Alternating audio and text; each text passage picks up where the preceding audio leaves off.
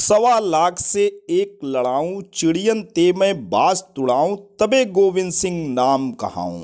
Hello friends welcome to educational insight दोस्तों, आज गुरु गोविंद सिंह जी की जयंती है और इस जयंती के उपलक्ष्य में उत्तर प्रदेश सरकार ने शासकीय अवकाश की घोषणा किया है।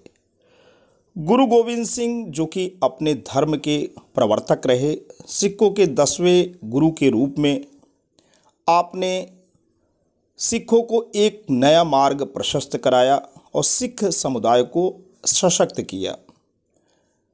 इनके पुत्रों को खास तौर पे उस समय मुगल बादशाह औरंगज़ेब था और वो एक कट्टर शासक था और इस्लाम धर्म ज़बरदस्ती उनको अंगीकार कराना चाहता था, लेकिन इनके पुत्र दोस्तों बिल्कुल शहीद हो गए, लेकिन उन्होंने इस्लाम धर्म को ज़बरदस्ती अंगीकरण नहीं किया। आज आइए देखते हैं कि गुरु गोविंद सिंह की कुछ प्रेरणादायक बातें हैं जो कि इस वीडियो में दोस्तों हम चर्चा करेंगे। दोस्तों, आप देख सकते हैं कि किस रूप में इन्होंने सिख धर्म को सशक्त कराया। गुरु गोविंद सिंह जी का नेतृत्व सिख समुदाय के इतिहास में बहुत कुछ नया लेकर आया। उन्होंने सन 1699 में बैसाखी के दिन खालसा, जो कि सिख धर्म के विधिवत दीक्षा प्राप्त अनुयायियों का एक समूह है, उसका निर्माण किया। सिख समुदाय की एक सभा में उन्होंने सबके सामने पूछा, कौन अपने सर का बलिदान देना चाहता है? उसी समय एक स्वयं सेवक इस बात के लिए राज़ी हो गया और गुरु गोविंद सिंह उसे तंबू में ले गए और कुछ देर बाद वापस लौटे, एक खून लगी हुई तलवार के साथ। गुरु ने दोबारा उस भीड़ के लोगों से यही सवाल दोबारा पूछा और उसी प्रकार एक व्यक्ति राज़ी हुआ और उनके साथ गया, पर वे तंबू से जब बाहर निकले तो खून से सना तलवार उनके हाथ में था। इसी क्रम में पांचवा स्वयंसेवक जब उनके साथ तंबू के भीतर गया, कुछ देर बाद गुरु गोविंद सिंह सभी जीवित सेवकों के साथ वापस लौटे और उन्होंने पंज प्यारे या पहले खालसा का नाम दिया। उसके बाद गुरु गोविंद सिंह जी ने एक लोहे का कटोरा लिया और उसमें पानी और चीनी मिलाकर दुधारी तलवार से घोलकर अमृत का नाम दिया। पहले पाँच खालसा के बनाने के बाद उन्हें छठवा खालसा का नाम दिया गया, जिसके बाद उनका नाम गुरु गोविंद राय से गुरु गोविंद सिंह रख दिया गया।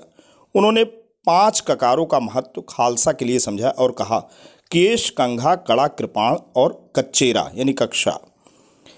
इधर 27 दिसंबर सन 1704 को दोनों छोटे साहेबजादों और जोरावर सिंह व फतेह सिंह को दीवारों में चुनवा दिए। दोस्तों, ये गुरु गोविंद सिंह जी के सुपुत्र थे। जब यह हाल गुरु जी को पता चला तो उन्होंने औरंगज़ेब को एक जफरनामा विजय की चिट्ठी लिखा, जिसमें उन्होंने औरंगज़ेब को चेतावनी दी तेरा साम्राज्य नष्ट करने के लिए खालसापन तैयार हो गया है। आठ मई सन 1705 में मुक्तसर नामक स्थान पर मुगलों से भयानक युद्ध हुआ, जिसमें गुरु जी की जीत हुई। अक्टूबर सन 1706 में गुरु जी दक्षिण में गए, जहाँ पर आपको औरंगज़ेब, यानी मुगल बादशाह की मृत्यु का पता चला। औरंगज़ेब ने मरते समय एक शिकायत पत्र लिखा था। हैरानी की बात है कि जो सब कुछ लुट चुका था गुरु जी वो फतह नामा लिख रहे थे वह जिसके पास सब कुछ था, वह शिकस्त नामा लिख रहा था। इसका कारण था सच्चाई। गुरु जी ने सदैव अत्याचार के विरुद्ध लड़ाई लड़ी थी, ना कि अपने निजी लाभ के लिए। जैसे कि हम बात कर रहे हैं कि फतहनामा, शिकस्तनामा औरंगज़ेब भी दोस्तों मान गया था गुरु जी का लोहा। और औरंगज़ेब की मृत्यु के बाद अपने बहादुर शाह को बादशाह बनाने में गुरुजी ने मदद की। गुरुजी व बहादुर शाह के संबंध अत्यंत मधुर थे। इन संबंधों को देखकर सरहद का नवाब वजीद खां घबरा गया, अतः उसने दो पठान गुरुजी के पीछे लगा दिए। इन पठानों ने गुरुजी पर धोखे से घातक वार किया जिससे 7 अक्टूबर 1708 में गुरुजी यानी गुरु गुरु गोविंद सिंह जी की नादेण साहिब में दिव्य ज्योति में लीन हो गए। अंत समय आपने सिखों को गुरु ग्रंथ साहब को ही अपना गुरु मानने को कहा और खुद भी माथा टेका। गुरु जी के बाद माधोदास ने जिसे गुरु जी ने सिख बना बनाया था बंदा बहादुर सिंह बहादुर नाम दिया था सरहद पर आक्रमण किया और अत्याचारियों की ईट से ईट बजा दी। तो ये दोस्तों कुछ प्रेरक प्रसंग रहे जिसको मैंने आपके साथ चर्चा किया। आज के दिन हम लोग गुरु गो, गोविंद सिंह जी का जन्म दिवस मना रहे हैं। सच्चे सपूत रहे देश के। आज के लिए इतना ही। Thanks for watching and listening this is Ajay Prakash to be signing off